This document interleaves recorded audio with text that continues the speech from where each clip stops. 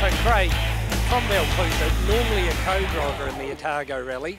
Is this your first Otago Rally as a driver? Yes, this is my first first go as a driver. Yep. Enjoying it. Enjoy, enjoying it. Now, you've got a Mark II Ford Escort, which isn't dissimilar to most of the cars in the field, but there's something a wee bit different about this car. You know, it's um, it's a Pinto with a roller cam in it, and um, yeah, it's 2.1, and um, yeah, hopefully, well, so far it's been very reliable. When you look under the engine cover there, it looks a bit different to most Pintos. Uh, a custom-made rocker box here by the look of it. Yeah, custom-made rocker, rocker, rocker box. Um, that's because we had a few engine issues beforehand, and um, that's, that's what we had to end up with. Now you've got young Daniel Mills in the uh, passenger seat. His father's pretty well known around these parts. Is this his first go co-driving?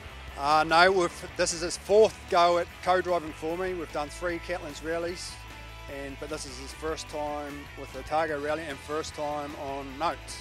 Well, he hasn't got you lost yet today? He, only once. He's got me lost on the touring stage.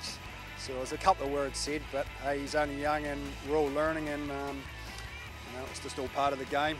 But the main thing is you're having a great day. Yeah, we're having a great day and having a lot of fun and we've just got to get to the end, Mark, you know. It's just very important to get to the end for, for everybody included.